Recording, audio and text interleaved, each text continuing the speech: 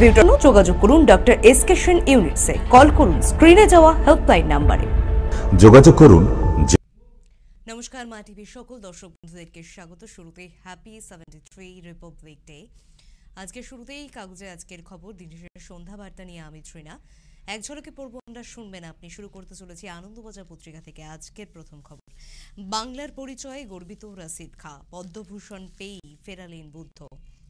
CPM নেতা বুদ্ধদেব ভট্টাচার্যকে পদ্মভূষণ খেতাব দেওয়ার ঘোষণা করল কেন্দ্রের বিজেপি সরকার। ঘোষণা মাত্রই পুরস্কার প্রত্যাখ্যান করে রাজনৈতিক বিতর্ক আরও জমিয়ে দিলেন রাজ্যের প্রাক্তন মুখ্যমন্ত্রী। এর আগে প্রধানমন্ত্রী মনমোহন সিং এর প্রথম ইউপিএ সরকার। রাজ্যের বামফ্রন্ট সরকারের আরেক প্রাক্তন মুখ্যমন্ত্রী জ্যোতি বসুকে ভারতরত্ন দিতে চেয়েছিলেন। তখনও জ্যোতিবাবু নিজে এবং সিপিএম সেই প্রস্তাব ফিরিয়ে দিয়েছিলেন। তবে তফাৎ হচ্ছে, সেবার ওই ঘটনা ঘটেছিল আনুষ্ঠানিক ঘোষণার আগে। এবার হলো সরকারি বিজ্ঞপ্তি জারির পরে তবে কেন্দ্রীয় সরকারি সূত্রের দাবি, বুদ্ধবাবুর পাম অ্যাভিনিউর বাড়িতে মঙ্গলবার দুপুরে ফোন গিয়েছিল কেন্দ্রীয় স্বরাষ্ট্র সচিবের। ফোনে বুদ্ধবাবুর স্ত্রী মীরা ভট্টাচার্যের সঙ্গে তার কথাও হয়েছিল। কেন্দ্রের প্রস্তাবের কথা শুনেই বুদ্ধবাবুর পরিবারের তরফে ধন্যবাদ জানানো হয়েছিল। এরপরে বুদ্ধবাবুর পরিবার তরফ থেকে কেন্দ্রের সঙ্গে আর যোগাযোগ না করায় ধরে নেওয়া হয়, তাদের কোনো আপত্তি নেই। তখন সন্ধ্যায় কেন্দ্রের বিজ্ঞপ্তিতে পুরস্কার প্রাপকের তালিকায় বুদ্ধবাবুর নাম দেখা যায়। মীরা দেবী অবশ্য এই বিষয়ে মুখ খুলতে চাননি। আর বুদ্ধদেব জানিয়েছেন, তিনি এ নিয়ে আগে কিছুই জানতেন না, ফলে বিষয়টিতে বিতর্কের রেশ রয়ে গিয়েছে। পরবর্তী খবরে নজর রাখব। পদ্মশ্রী প্রত্যাখ্যান সন্ধ্যার, সন্ধ্যা মুখোপাধ্যায়ের কথা বলছি, সংগীত শিল্পী কিংবদন্তি।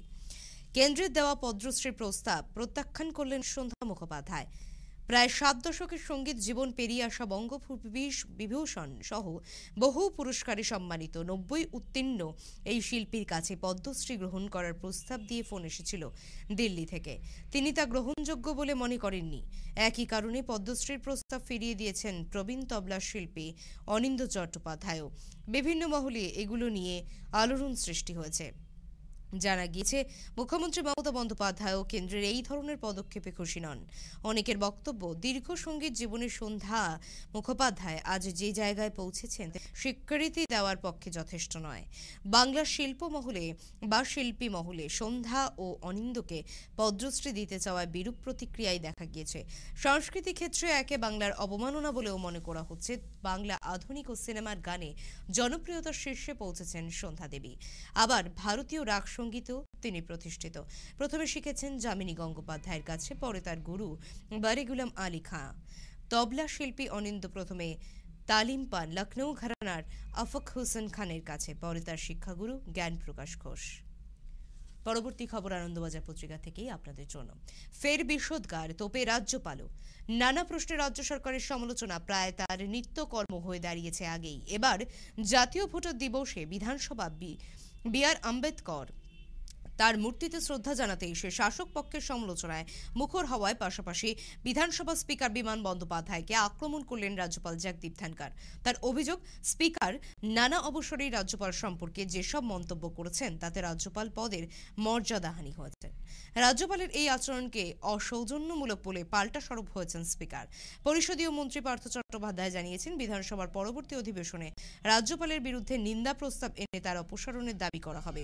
সরকারি সূত্রের খবর মুখ্যমন্ত্রী মমতা বন্দ্যোপাধ্যায়ও এই বিষয়ে যেখানে যা পদক্ষেপ করার করছেন, এমন রাজ্যপালের অপসার চেয়ে আগেই কেন্দ্রকে চিঠি দিয়েছিলেন মুখ্যমন্ত্রী।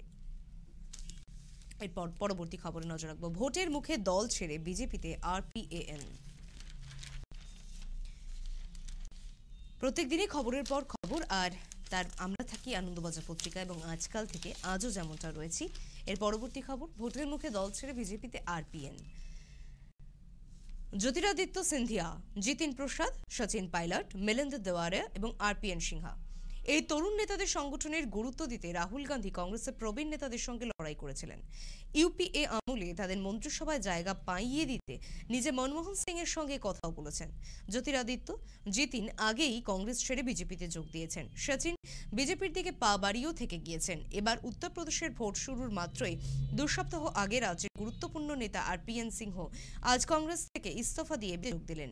পূর্বাঞ্চলের গুরুত্বপূর্ণ নেতা আরপিও এ সরকারের স্বরাষ্ট্র মন্ত্রক সহ একাধিক মন্ত্রকের প্রতিমন্ত্রী হন।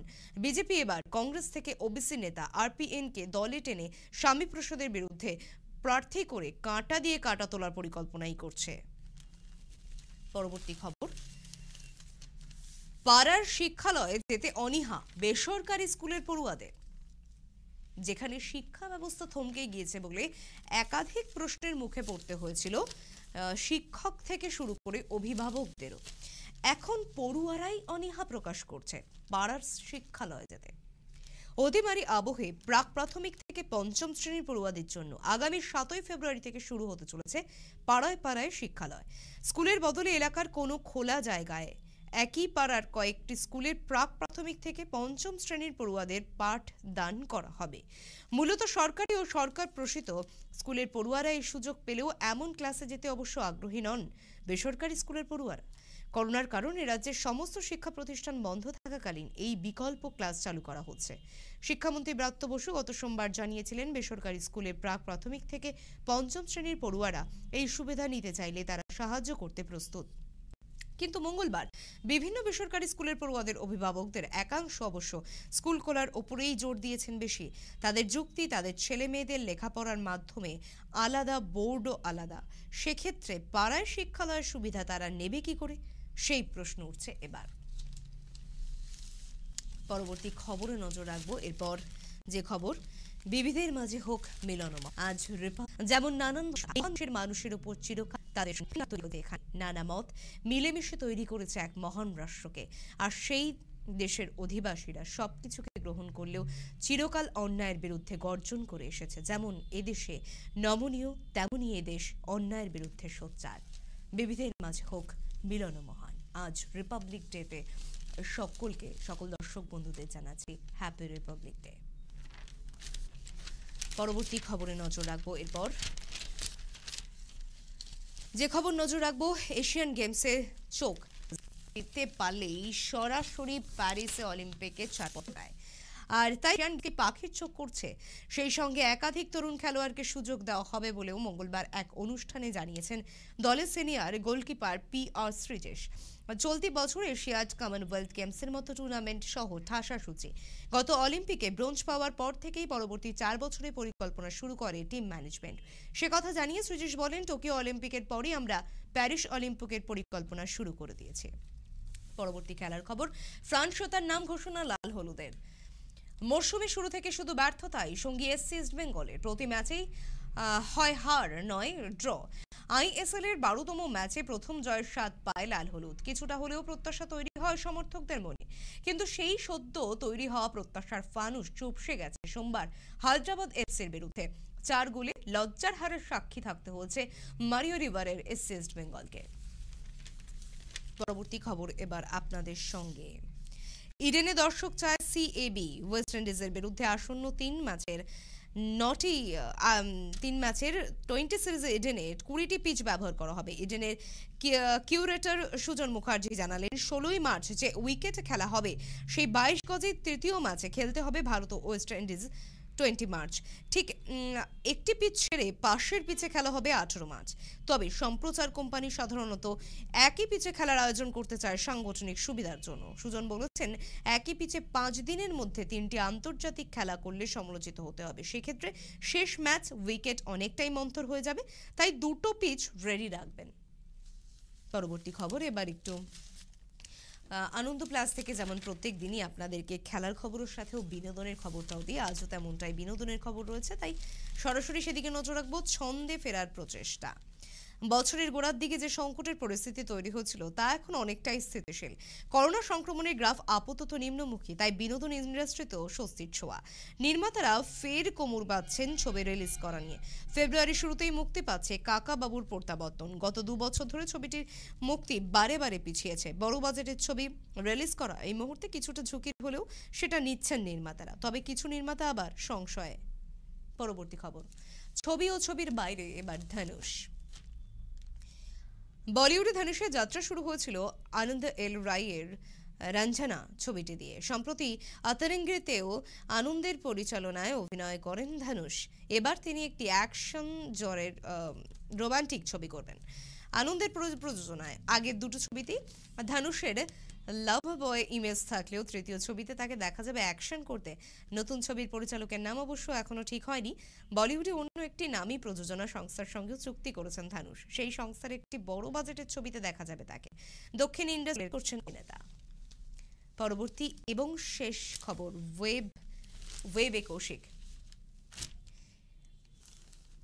এমনিতেই তাকে দেখে মনে হয় পাশের বাড়ি কাকু বা জেঠু। এই সদাহাস্যময় ভদ্রলোকে আবার রাতের অন্ধকারে বন্দুক হাতে তুলে নিতে পারে। নবগত পরিচালক শাগ্নিক চট্টোপাধ্যায় পরিচালিত ওয়েব সিরিজ প্রেসকেটাইজ। এই এমনই একটি চরিত্র দেখা যাবে কৌশিক গঙ্গোপাধ্যায়কে। ওটিটি প্ল্যাটফর্ম ক্লিকের এই সিরিজের অন্যান্য চরিত্র রয়েছেন রেমো শ্রীতমা দে, ঈশিতা কুণ্ডু দেবদের মতো তরুণ অভিনেতারাও। পরিচালক শাগনিকের আগে হীরকগড়ের হিরে সহ একাধিক ছবি সিরিজ, ধারাবাহিকের চিত্রনাট্য ও সংলাপ লিখেছেন। পরিচালক হিসেবে ডেবিউ সিরিজে কৌশিককে কাস্ট করা প্রসঙ্গে তিনি বলেন, ওর অভিনয়ের ধরনের কথা মাথায় রেখেই গল্প চিত্রনাট্য সাজিয়েছিলাম। উনি শুনেই হ্যাঁ বলে দিয়েছেন। আমাদের সময় এটি, তাই কাগজ আজকের খবর নিয়ে এখানেই আমাদেরকে থামতে হচ্ছে। আবারও আগামীকাল ঠিক বিকেল চারটে নজর থাকুক মায়া টিভির পর্দায়। চোখের উপর চোখ রাখুন।